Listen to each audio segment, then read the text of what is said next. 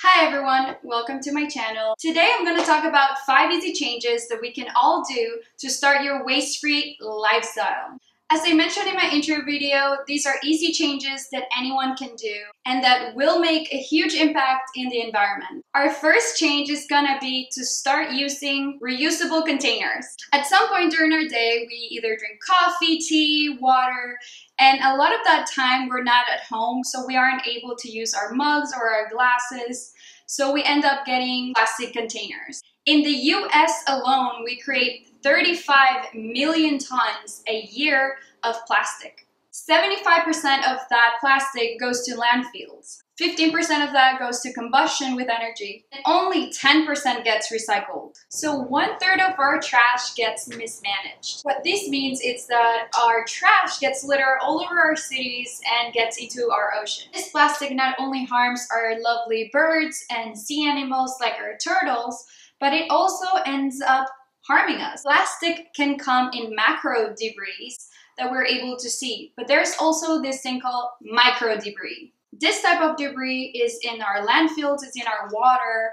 There is a study that sampled 159 tap waters in different places all over the world. This study found 0 to 54 particles of plastic in our tap water and the United States being the highest. Let's make a difference and start today. So that's why I recommend that an easy change is you bringing your mug to work, bringing a container to Dunkin' Donuts or Starbucks.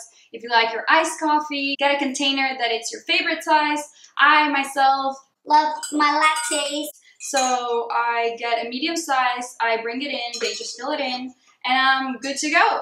You don't have to go out of the way to buy the fanciest water bottle. You can just use anything that you already have at home. And if you don't and you're super new in reusable containers, I will suggest getting a glass one instead of a plastic one. That's better for not only your health, but for the environment. And you can find them in Target, Walmart, Amazon, anywhere. Our second change is gonna be, of course, about saving the turtles, reusable straws.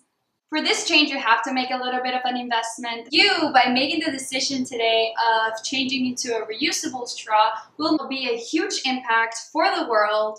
On average, a person uses 1.6 straws a day.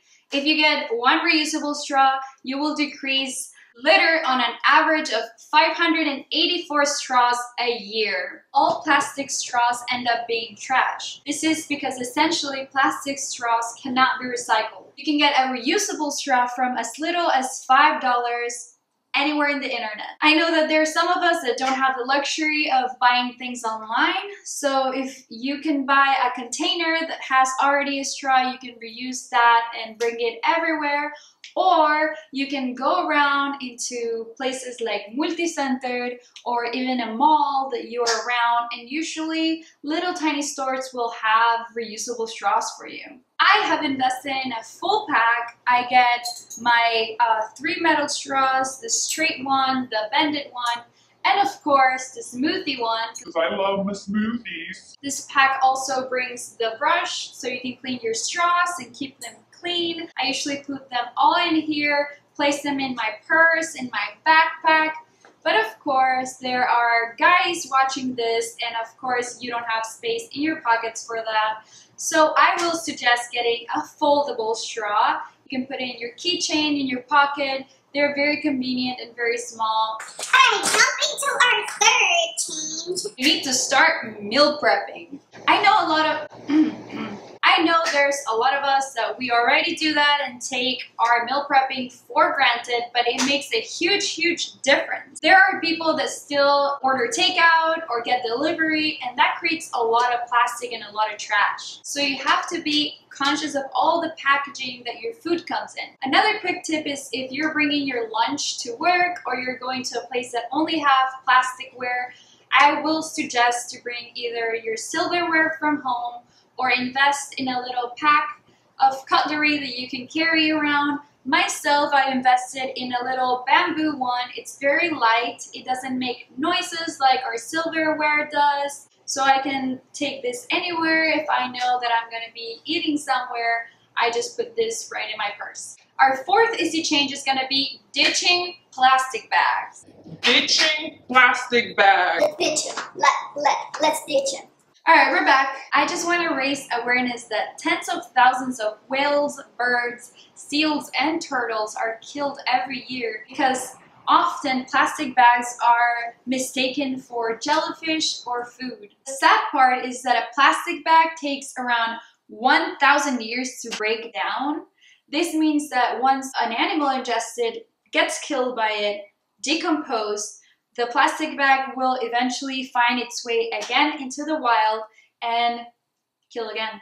Therefore, you can make a change by ditching your plastic bags in the grocery stores, especially in the produce section.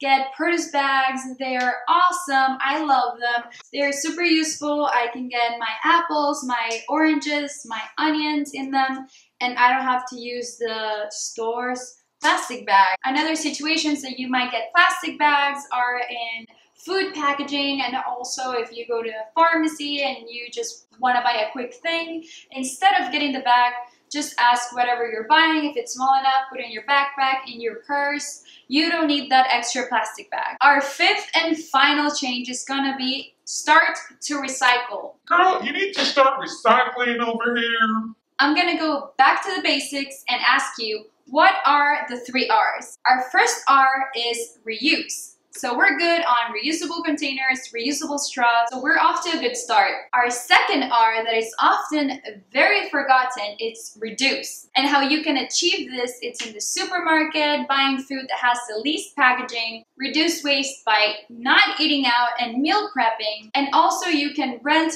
borrow, or share specific things like tools, party decorations, or even furniture. And the third R that you should all know, it's recycling. I'm gonna make a longer video focusing on only recycling. In this video, I just wanna point out certain questions that I want you to ask yourself if your recycling at home is single stream per se, if your curbside pickup recycles all types of plastic, number one through number seven. Most of the time, cities only recycle plastic number one and number two. You can check this going into your city's website. It's usually under public works. And in the recycling section, you will see what type of items they receive and they are welcome. Just check. Going back to the plastic bags, a lot of the times the curbside pickup don't recycle the plastic bags. These are recyclable, but usually you have to collect them and bring them to the grocery store. If you don't know if your store has it, make sure to visit earth911.com and you can put your zip code and it will show you what's closest to you and all the grocery stores and stores that have the places that you can put in your film paper and also your plastic bags. Last thing, just make sure to properly wash and discard any food from your recyclables.